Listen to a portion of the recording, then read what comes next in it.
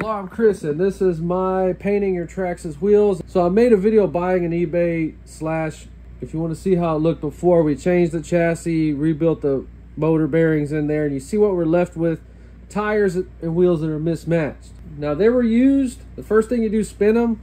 They spin straight, awesome. If the tires have tread, awesome. If it doesn't bother you, that's fine. But if it does, we're gonna paint these in this video. So it is chrome plated. So we're kind of rolling the dice with this one. This has been scrubbed with bleach soap, purple power, sprayed down, degreased, everything in the kitchen with Dawn.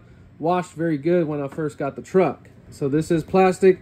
We can paint this one, no questions asked. Same thing, wash it down really good. Wash it multiple times before you paint. So if you want the best results, use the correct paint. Use Tamiya lacquer or any other lacquer. Testors make some, but it has to be lacquer.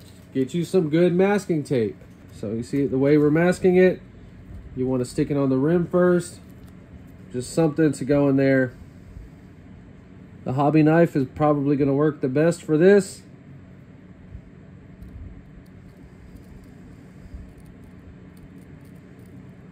So the most time you're spending on this project is getting that line created and getting it pushed in. So the problem with these is since they're glued and probably re-glued, that line is not perfect.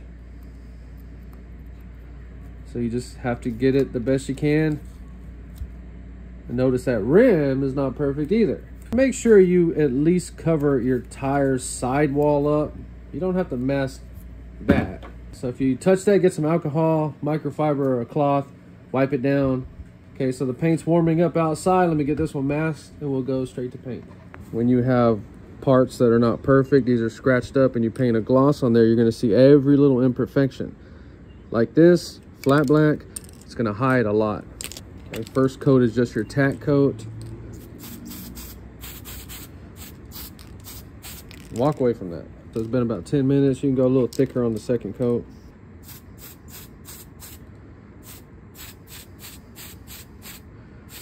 All right. All right, so we're gonna wait 10 minutes. We'll put a third coat.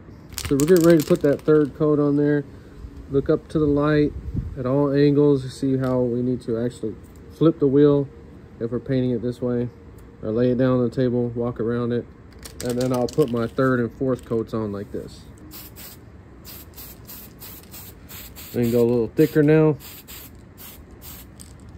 Go ahead and look at it real quick from all angles. All right, see how we got that matte black finish on there? Looking beautiful. We can take this off. Okay, so this was the chrome one, obviously, because we see some little chrome places. Just touch that up. Look, I got a Sharpie right here. Let's just do it. Barely, barely do it. Up close, you can see a little bit. Look, look at that. Beautiful. They don't even look like the same wheels that we started with. So front and rear, this is rear. You need to get you some new wheel nuts because I had the wheels fall off a couple times. So what I found out is that little nylon part was just so worn out, wasn't doing nothing. Look at that freaking used wheel. That is beautiful right there. Okay, so if you have some RC wheels you don't like, just do like I did. Paint them matte black and it looks so awesome. That's beautiful. They're staying like that. If you enjoyed this video, please like and subscribe. And thanks for watching.